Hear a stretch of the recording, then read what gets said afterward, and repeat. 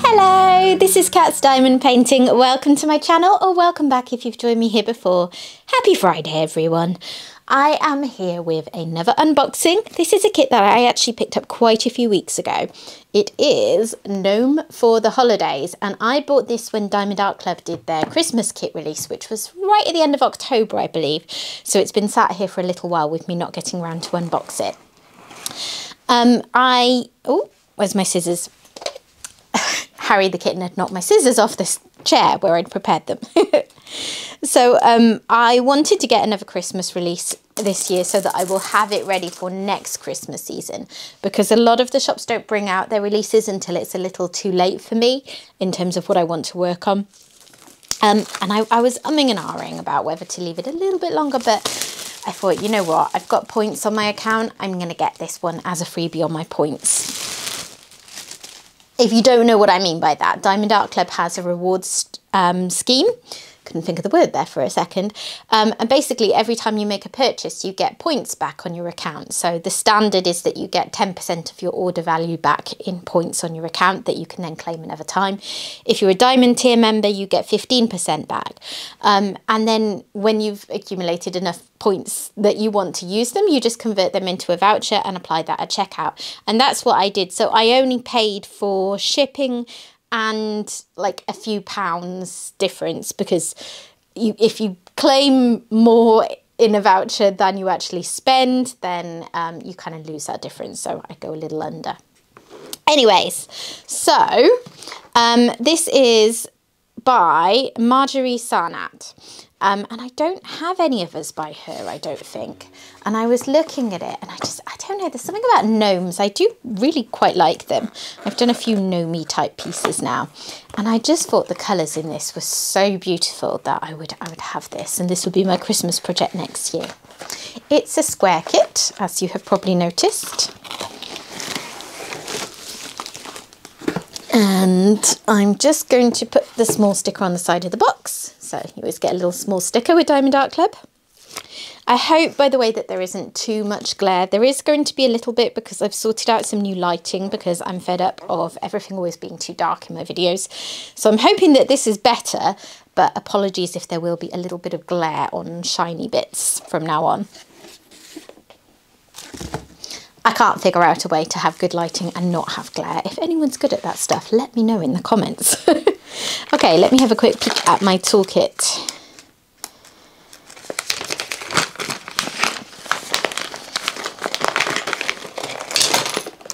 Harry the kitten seems to be napping today. I know there are people who who watch for him in my videos, um, but yeah, he's he's just gone over to his cat tree to have a snooze, so I don't think he's going to be gracing us with his presence. Hopefully that won't make too many people switch off. um, so you get a roll of baggies, always helpful.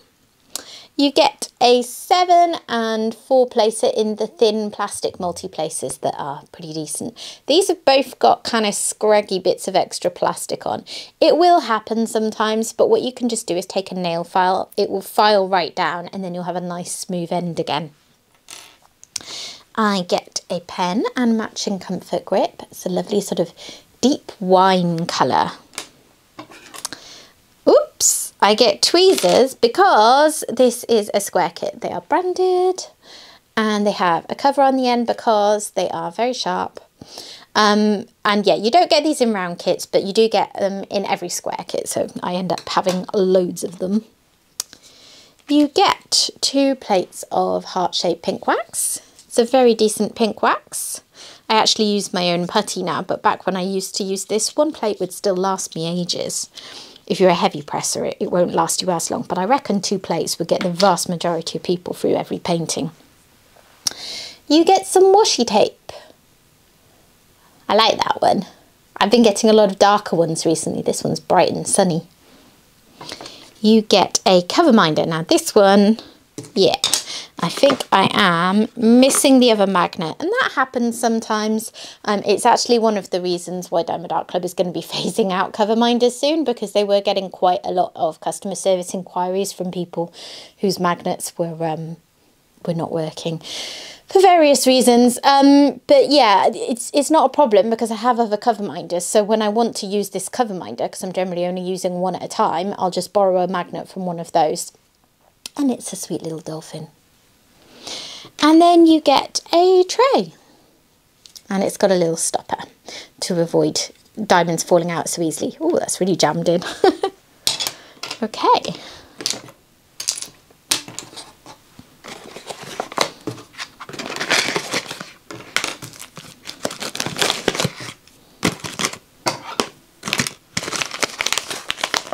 I have been looking forward to uh, having a look at this one, I have to say. It's very me with these colours and, and the sort of fun little gnome design. I've done a couple of Laurie Furnell's gnomes. She's another artist. I say she, I think that's a female Laurie, um, who Diamond Art Club licenses. And I've done, I did a gnome one last Christmas. I did a Halloween gnome. Um, I think that's it. Anyway, this is slightly different. I like it a lot. So, obligatory canvas stroke, because I always do this because I love, love, love the material that Diamond Art Club uses for their canvases. It's called tarpaulin and it's this really good sort of self-flattening, very malleable but sturdy canvas. And yeah, it is one of my absolute preferred ones to work on. So inside there, I get a thank you for your purchase leaflet really useful information in here like tips and tricks and what's included and just step-by-step -step instructions. If you're new to diamond painting and you don't know what you're doing quite, this is going to talk you through it. There's also a link to their VIP Facebook group, which is a great resource. And on the back, there's a couple of discount codes. So there's 10% off your next purchase. There is a 20% one-off code that you can use for your first purchase through their app because they do have an app. Um, and I'll also just mention that if you have never purchased from Diamond Art Club before and you want to make a purchase, in the description box below, I do have my own discount code, which is CAT20, and that will give you 20% off your very first discount, off your very first order. I've said the word discount so many times, I've lost track of my words. um, but yeah, it, it is an affiliate code. So if you do use that, I would receive a small amount in commission. Um, but yeah, there's that. There are plenty of other codes out there. The main point is just don't pay full price for Diamond Art Club. You never need to. There are always, always, always discount codes available to you. Okay. Here's my sticker sheet and a nice closer picture of the image. Oh, I love it. I love blues and greens. so the colour palette straight away is very appealing to me. And I love um, sort of abstracty type artwork. Um, and I think this, like all these little spirals and things in the background or the patterns, I think they're going to be so fun. So I've got 60 colours and let's see, three of them are ABs, a green, a red and a white one because they have a DMC code under 150 and two of them are fairy dust drills, um, which are like a glitter effect drill. I'll, I'll have a quick peek through these in a minute and see if I can pick out at least the special drills to show you. Look at all these. Well, I say blues and greens. Actually, it's the greens that stand out more to me, but maybe that's just my eye. There's a lot of bluey greens as well as blues and greens, if that makes sense. So there's some sort of turquoisey, tealy shades in there, and I always love teal. I don't know why, it's just one of my favourite colours. And then of course there's some brighter colours that are going to really pop out from these sections. So they'll be really fun and a bit of relief in the blue and green as I'm going through it. Because I inevitably get a bit bored if I'm working on the same colour for too long. This is all a sticker. So this part I tend to keep to go in a logbook and then the stickers I use when I'm kitting up. Oh, and I don't think I even said it's 55.8 by 70.7 centimetres, which makes it a very sort of medium sized painting in terms of what Diamond Art Club offers. Okay, I'm going to open this up and just have a quick peek for the drills.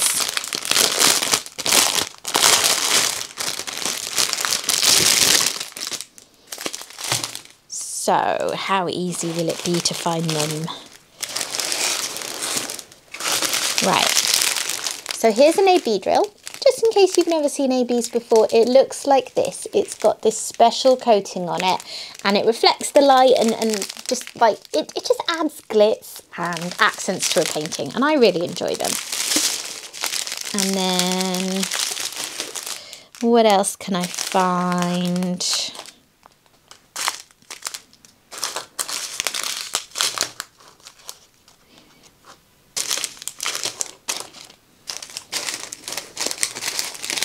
Here is a fairy dust drill. So it's like a sort of coral colour, isn't it? Now it's always hard to capture these through the um, plastic bag, but hopefully you can just about see a glitter effect. And I always like to point out it's a sort of midway point between ABs and normal drills. It's got this subtle glittery effect and it's got that going for it compared to a normal drill, but it's not as in your face as ABs can be. Here's a couple more ABs. So there is the green and there is the white. And can I find the remaining, uh, whatchamacallit, fairy dust drill?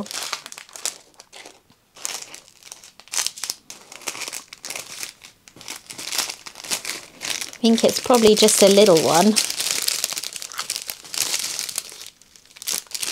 it's supposed to be a peachy colour based on the sticker sheet. It's not jumping out to me. I have to say. Mm, where are you hiding?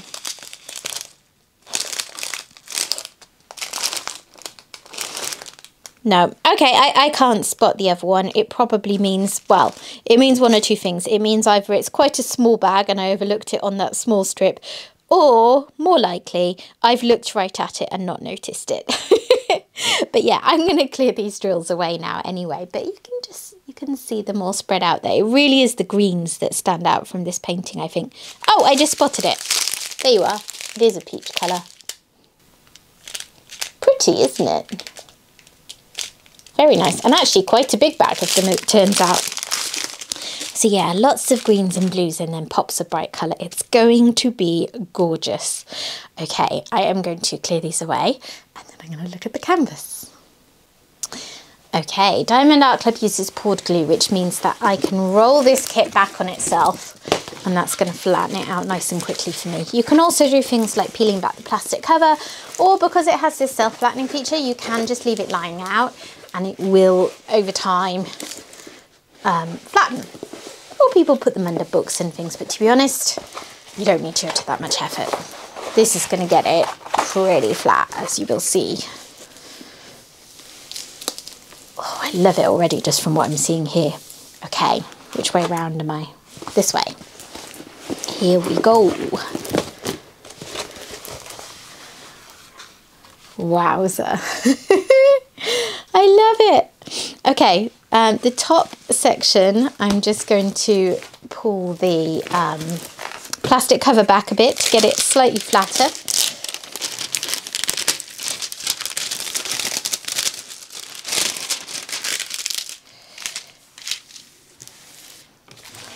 There we are.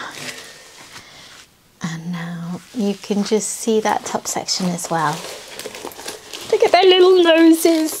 it is adorable. It, it actually is really green, isn't it? When I look at the picture of the artwork, I feel like it's blue and green equally. And then looking at this and having looked at the drills, it's a lot more green. It's funny how your eyes sort of play tricks with you with that kind of thing. But yeah. Oh, I love it. I love this cute little Christmas tree and the dove on top. There's just so many little details and swirls and baubles and it's so Christmassy. I really, really, really like this piece. Very glad I decided to buy it actually. This is the way it goes. Sometimes I'm umming and ahhing about whether to buy a kit. And nine times out of ten, if I do, I do not regret it.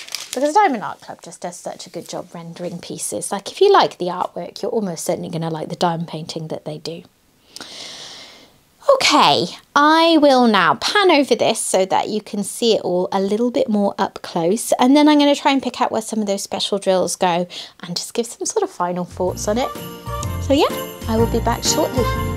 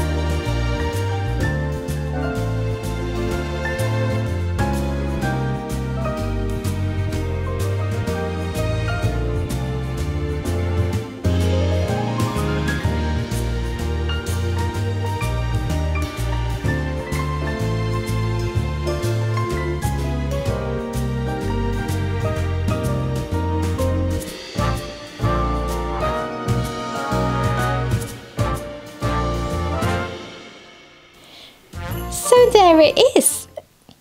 Um, yeah, in terms of confetti versus colour blocking, where confetti would be um, where, where you're going to have to change out the colour in your pen really frequently, that doesn't make sense. The colour in your tray very frequently because you're going to be doing a small amount of one colour and then a small amount of another colour. And then colour blocking being large sections of one colour which you can kind of whiz through. I would say that this is a reasonably high confetti piece. Um, I mean, Diamond Art Club does hand render things in such a way that they tend to smooth out a lot of unnecessary confetti. So most of their pieces aren't too bad for confetti, but I do see quite a lot of chopping and changing with this. Um, and you'll probably agree with me if you were looking at that pan over there. But it, it's, it's reasonable. It's not too bad. I like pieces that are a mixture. And I get a bit too bored of working on a painting if it's too much one way or the other. So, I, I mean, I don't think this is high confetti, but it's possible it'll be one that I'll need to take the odd break from, and I'll bear that in mind for kind of when I start it next year. But it's really not too bad. There are some sections of block like this will go quite quickly, and then in the outer section and these bits, there are some blocks of colour. Um, so yeah, not too bad overall. Right, special drills. So I've got one, two, and a white dot. So the green AB, first of all, is a one code. Um, and that seems to be just sort of dotted around the place in little bits. Um, I see sort of patches of it kind of all over the place, really. Um, so yeah, that one's kind of everywhere. And then two is the symbol for the red AB, and that one is all through this gnome's hat, which I love. And then little bits in this bauble, and just where you see red, there tends to be a little bit of it. It's in this flower down here as well. Um, a little bit down here in the base of the Christmas tree. Little bit spattered around. And then the white one is the dot, and that is right through this gnome's beard, which is fabulous. And then little dots of it around on a lot of these kind of, what do you call them? Well, I don't know, all these sort of swirly patterns and things. A lot of them have got a little bit of a white AB accent to them. Tiny bit up there as well, but there wasn't a huge amount of that one in the kit. And then the symbol P is the red fairy dust drill and that again is in the flower and it's in the hat. A little bit less than the AB but you've got two kinds of glitzy reds there to make that hat really pop out. And again just wherever I see red I see a kind of smattering of these drills. So they've been used fairly liberally. And then this symbol whatever you want to call that it's like a sort of division symbol but the, the wrong way around is a peach colour and a little bit there. Oh, it's in their noses. Their noses are going to have a little glisten to them. it's outlining this flower, a little bit through the tree, and quite a bit through this hat as well. So yeah, good use of special drills throughout the painting, I would say. I, I tend to really enjoy the way Diamond Art Club renders their special drills. They usually get the balance for me just right in terms of having some of them in there, but not going OTT, because for my personal taste, I don't enjoy, you know, really blinged up paintings, like all crystal drills and all of that kind of thing. I know some people love doing that. That's that's great. Um, that I love that for other people, but for me, I prefer them to be a little bit more um, sparingly used. And I think with this, they are throughout the painting, but not really in big blocks of them ever, apart from maybe the hat. But I like that. so yeah, there you have it. That is Gnome for the Holiday. And I'm very, very pleased that I got this painting. I'll check now if it's still in stock. Um, I think it went out of stock, but you never know. It could have been out of stock and come back in by now. So I'll pop that up on the screen. Um, but if not, they will restock throughout the year. So if you like the look of this painting, you can just put your email address in the, the, the relevant box when you look at this, this painting on their website. And they will email you when it comes back in stock. So then you can pick it up in plenty of time for next Christmas if that is your plan. Okay, thank you for joining me today. I hope you've enjoyed taking a look at this painting with me and I will hopefully see you again soon. Bye bye.